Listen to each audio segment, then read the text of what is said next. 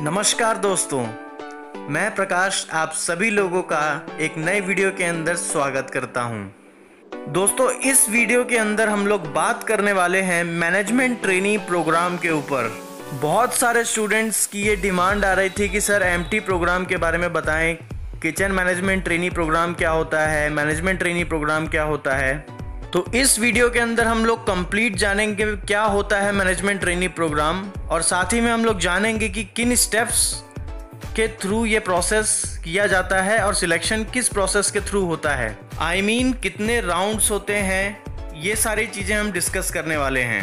तो अगर आप इस चैनल पर नए हैं तो चैनल को सब्सक्राइब ज़रूर कर लें क्योंकि इसी तरह की हेल्पफुल वीडियोस आगे भी मैं पोस्ट करने वाला हूँ। सो अभी जाके सब्सक्राइब करें। तो चलिए दोस्तों, वीडियो को शुरू करते हैं।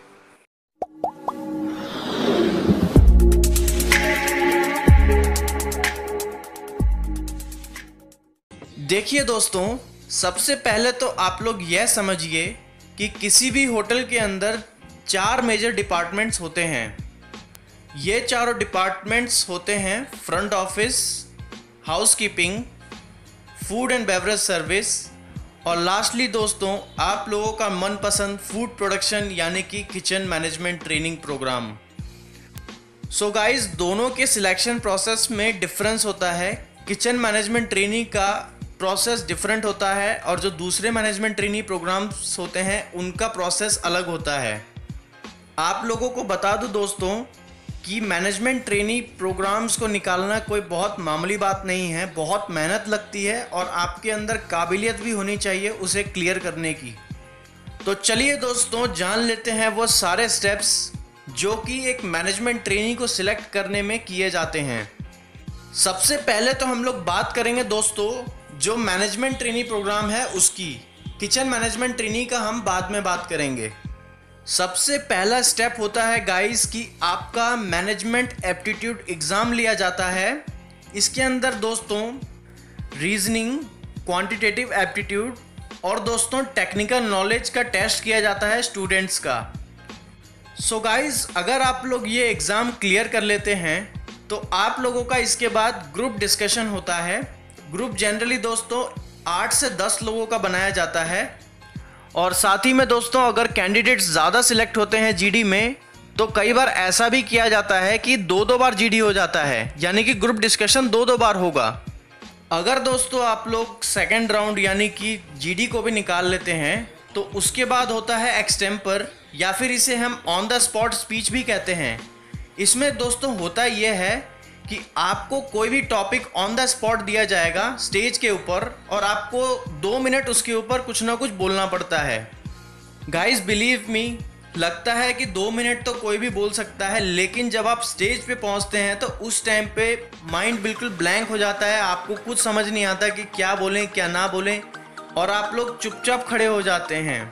ऐसा मैंने अपने फ्रेंड्स के साथ होते हुए देखा है दोस्तों, इसलिए मैं आप लोगों को ये बता सकता हूँ।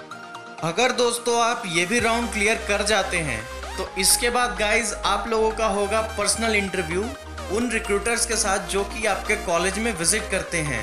तो उनके साथ आपका पीआई ऑलमोस्ट 15 से 20 मिनट का चलेगा गाइज़ दोस्तों, अगर आप लोगों को सिलेक्ट कर लिया जाता है तो इसके बाद दोस्तों आपका पर्सनल इंटरव्यू वहाँ के सिटी के जो जनरल मैनेजर्स होते हैं होटल्स के अंदर जो ऑपरेट करते हैं उनके साथ आपका पर्सनल इंटरव्यू लिया जाता है। गाइज़ अगर आप लोग ये स्टेप भी पूरा कर लेते हैं, इस प्रोसेस में भी सिलेक्ट हो जाते हैं तो उसके बाद आप लोगों का होगा साइको टेस्ट अगर दोस्तों आप लोग साइको टेस्ट को भी क्लियर कर लेते हैं तो उसके बाद दोस्तों आप लोगों का पर्सनल इंटरव्यू होगा रीजनल मैनेजर्स के साथ, यानी कि एरिया मैनेजर्स जो होते हैं, उनके साथ भी आपका पर्सनल इंटरव्यू लिया जाता है। अगर गाइज़ आप लोग वहाँ से भी रिकमेंड हो जाते हैं, यानी कि क्लियर कर देते हैं वो भी पर्सनल इंटरव्यू का राउंड तो आप लोगों का दोस्तों अगला इंटरव्यू होता है जो होटल की चेन्स के जो एम डी होते हैं, उनके साथ आपका फाइनल इंटरव्यू होता है। और अगर आपने ये इंटरव्यू क्रैक कर लिया दोस्तों तो आपको मैनेजमेंट ट्रेनी के तौर पे सिलेक्ट कर लिया जाता है। तो दोस्तों, जितना आसान आप लोग समझते हैं होटल मैनेजमेंट को, उतना आसान ये है नहीं। घबराइए नहीं दोस्तों, मैं आप लोगों की पूरी हेल्प करूँगा, लेकिन उसके लिए आपको मेरा चैनल सब्सक्राइब करना होगा, क्योंकि जो भी मैं वीडियोस अपलोड करूँगा, वो आप तक तभी पहुंचेगा जब आप चैनल को सब्सक्राइब करेंगे।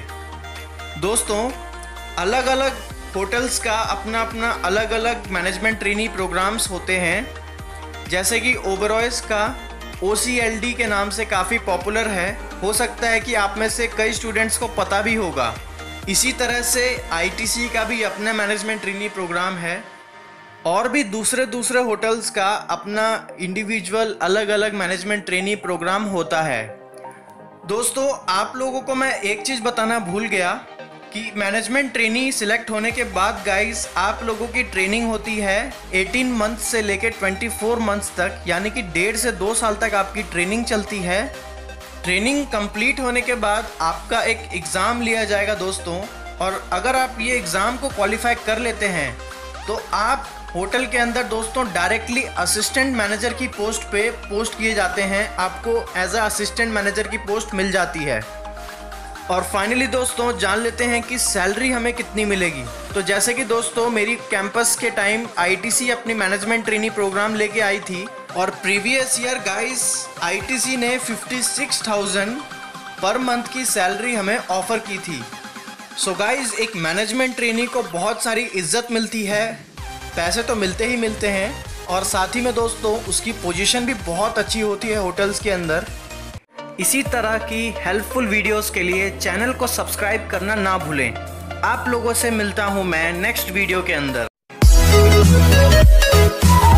We'll oh, oh, oh